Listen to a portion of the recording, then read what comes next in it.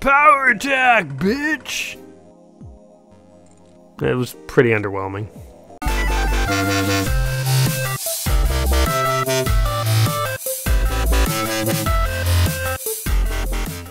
Welcome back to another episode of Let's Play Thousand One Games. I'm your host, Gaming Jay, and today we have kind of an interesting game that we're going to be playing. So we're going to be playing a puzzle game on the Game Boy Advance called Bit Generations Digidrive, which is actually this game that you see on the screen right now, which is Art Style Intersect for the Nintendo DS.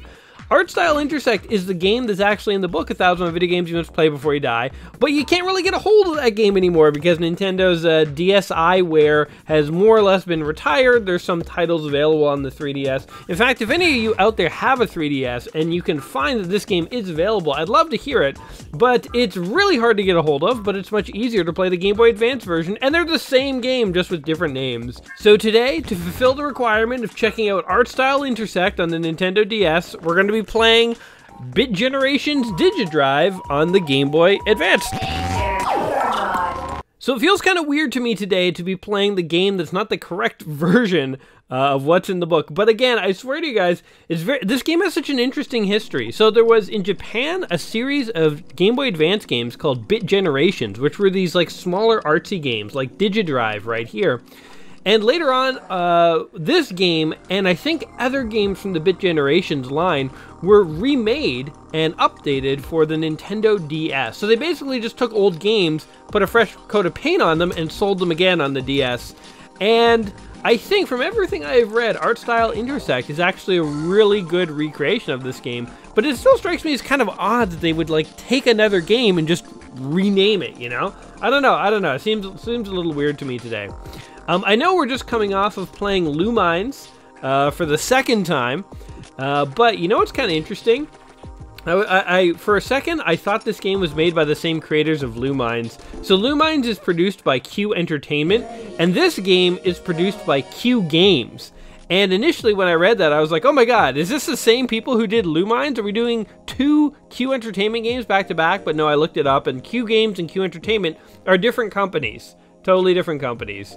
Uh, so it was just sort of uh, an odd coincidence. Uh, but anyway, this is a puzzle game completely unlike Lumines, completely unlike Tetris. Basically, the goal of the game is to uh, stack up a bunch of these chevron shippy things in these different alleys. And what you're basically trying to do is stack up items of the same color in the same alley. And every time you get five of the same color, uh, you get a little bit of fuel.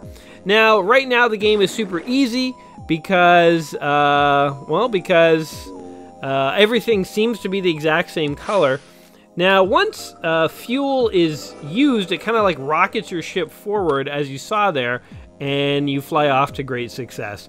Now, there's a little trick I was reading. You can do sort of bonuses and overdrives. If you are able to get like all four alleys activated on the same color at once, you enter overdrive mode and it gives you some sort of crazy bonus. So I'm going to give that a shot right now. Um, again, at the beginning of the game, all the uh, sort of ships are the exact same color, so this game is actually sort of trivially uh, easy. But I think we're going to be able to enter overdrive mode right about now. Ah, damn it.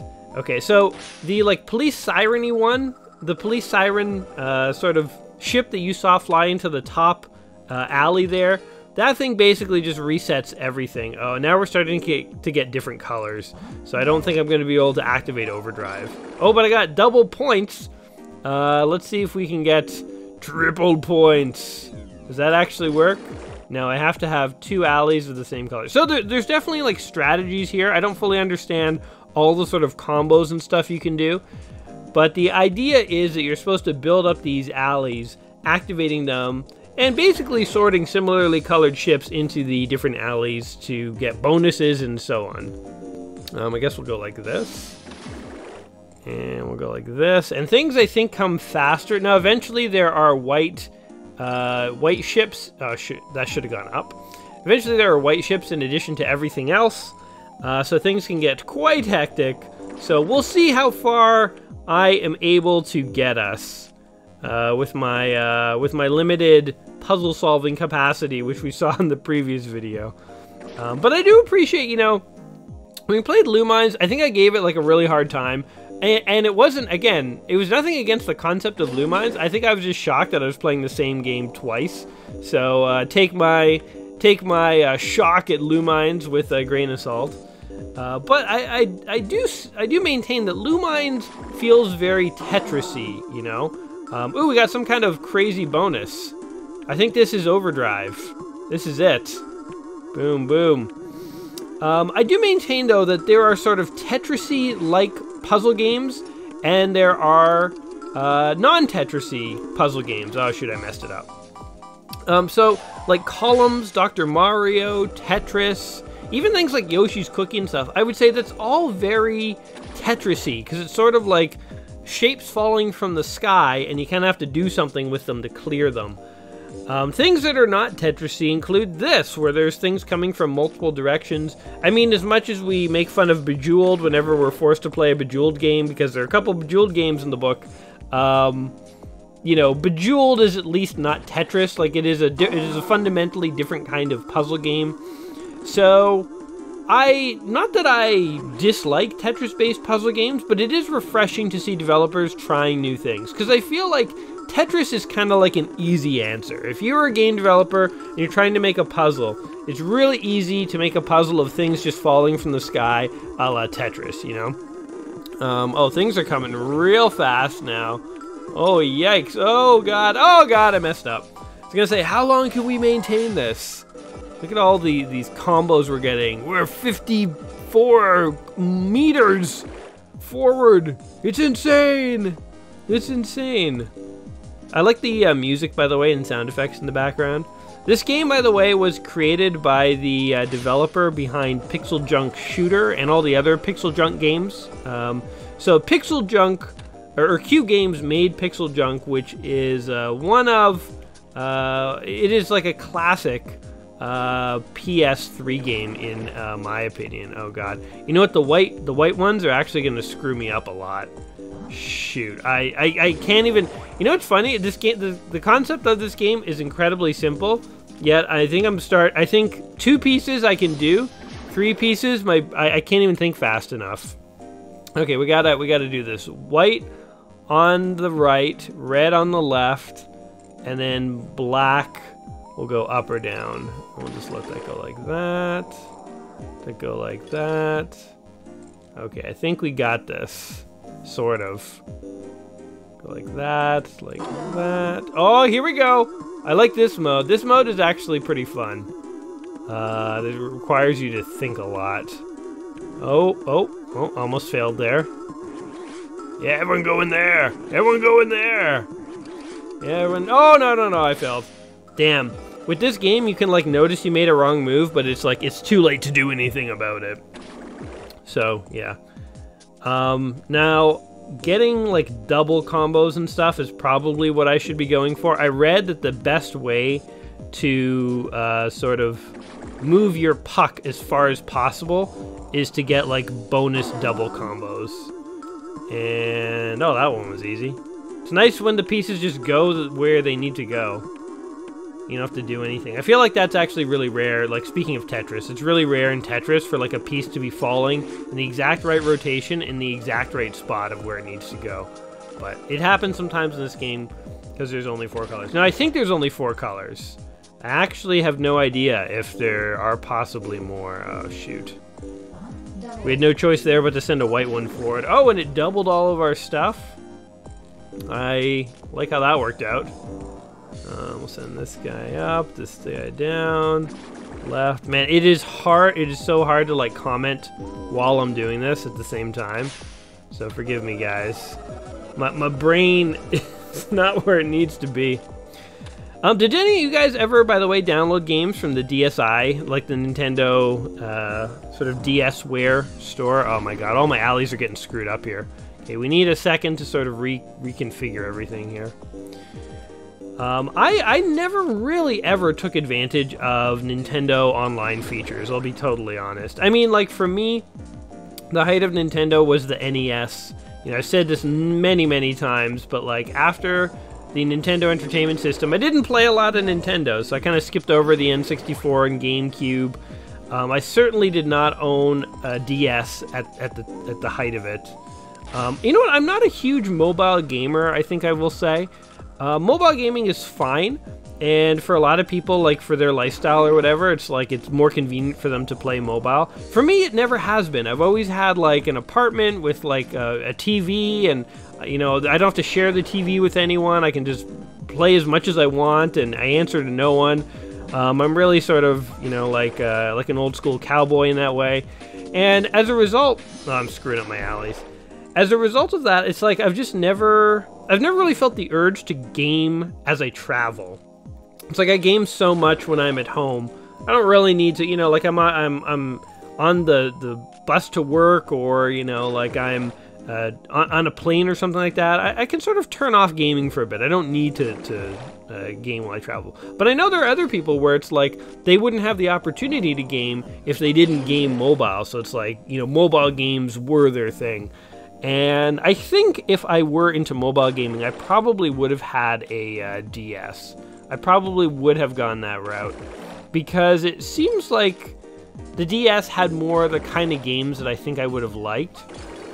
Um, not to say like the PSP or anything wouldn't have, but like I, am really into the old school platformers and stuff, and I just think a Nintendo system would be more likely to have those. Oh, game over by the way.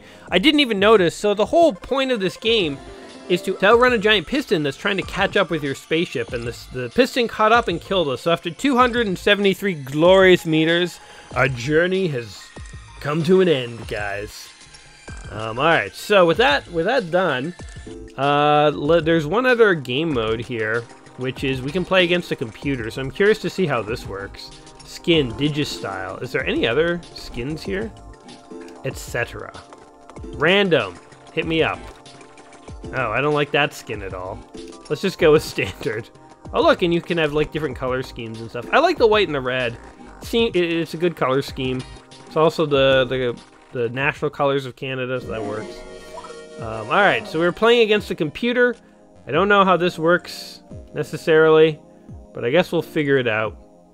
Uh, maybe the computer controls the game half the time or something. By the way, I think if you press the A button, you launch those siren uh, pieces that can like clear lines. So if you do want to, you can intentionally clear a line. Ah, shoot. That white one's just going to push the red one right out of dodge. Um, alright. Now, the uh, I think the bit generations and the art style inter shoot, intersect uh, games were only ever released in Japan, if I've got my facts correct. And I feel like that's a little bit of uh, little bit of a waste, you know. Like I think a game like this would have done well in North America, and and as I understand too, I think it actually even had a North American release at one point but uh, for for whatever reason, it just did not materialize.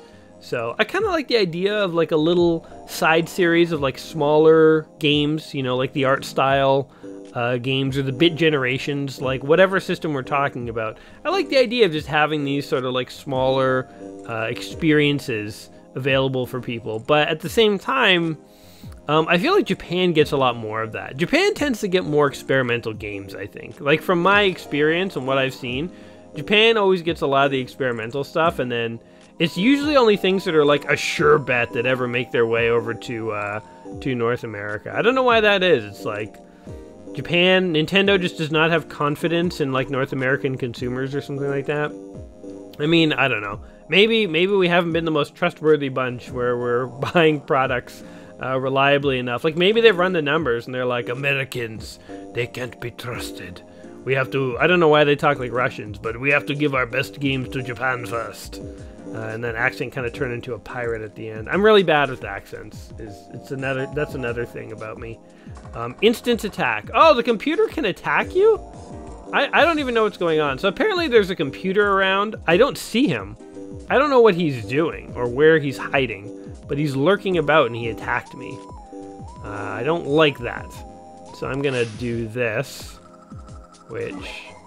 Oh, I think I understand what's going on. Half. Um, I, so I think I understand what's going on. Um, the computer's on one side, I'm on the other, and we both have to kind of like shoot at the uh, puck in the middle and try and get it to the other guy's side. So it's kind of like a, the slowest game ever of air hockey. I think I kind of get it. So if we can get like a lot of fuel uh, into these, then we might have a shot here. Man, if I could get like an overdrive right now, that would be insane. I feel like overdrive is really hard to get when you have all three colors because you have to like get all the lanes at once active. And we just screwed that lane over. The kind of siren pieces actually kind of screw you over a bit. There's also like a bomb thing. Oh, the computer launched it at us. I was too busy watching that. I did not watch my pieces. I think I've screwed it all up, guys. Man, look how close we are to losing. That puck is like almost on our side. We are so close to screwing it all up. All I need is like six more red pieces all in a row. If you could give me that game, damn it, I would be really, really grateful. Instead it gave me a white piece that screws up my whole bottom. My bottom is all messed up. Don't take that quote out of context. Alright, here's my new plan. White on the bottom. We're gonna have a sandwich with white on the bottom. Actually, black on the bottom. Auto guard. I think I might have just lost. There's a bomb that bounced off a clock. I don't know what's going on. Apparently, I'm in a duel to the death, and I'm not necessarily losing, but I'm not what you'd call winning. I my my performance does not classify in the traditional sense of the word winning. So I guess we'll just keep going until the computer beats me because I'm I'm sure the salute the way that you are supposed to do this is by getting uh, combos, but I I don't remember exactly how to do those. I think you have to have multiple fuel things going at once, and then yeah, something like that. I don't know. If you have at least two fuel things going at once and you clear one of them, then you like double the fuel. And I think that's the key. That is the key. Okay, so we'll clear that. Oh, I should have gone like that. I don't know why I did. I'm stupid. Uh, we'll go like that, like that. Come on, white! Boom! Boom! How have we? How has the computer not beaten us yet? Is my my question. Like, how bad is the computer that, like, because we, we are not doing good. Look at our piece. Look at our puck. It's, like, on the far end of our side here. We're just, inch, we're, we're moments away from imminent defeat. Uh, here we go. We're going to have three at a time. Do you think we could get four? Is that in the cards? I want to get this, like, uh, overdrive mode, man. Ah, oh, shoot. It's not in the cards. It's totally not in the cards. Do this. This, this, this, this, this. This, this, this. You know, I should, like, just clear one of these intentionally. Oh, God. Auto guard. I was trying to get double fuel. Alright, well, this, this game seems to go on and on and on. I kind of feel like... I don't know. Let's just launch all of our glowy ones. I assume at some point I'll lose. And that will be the end of that, but... Uh, yeah, this this is this is uh, what's this game called? Uh, Art Style Intersect, according to the book. Well, that's the DS version, but we're actually playing DigiDrive today. This is one of the games in the book, 1001 Video Games You Must Play Before You Die, and uh, I'm just going to let the performance go a bit so I can like take a look at my notes here. Um, so anyway, it's one of the games in the book, and I'm kind of curious. I wonder how many people out there actually played this as it was DigiDrive, and I'm curious how many people played it as Art Style Intersect. And I'm curious if you can even still get this game. Uh, you know, like for anyone out there with the 3DS, again, if you can check the DSiWare, let me know because it's. I'm always curious for these like old games that are being like old. This is 2009. It's not old in the grand scheme of things, but it's like 10 years old now.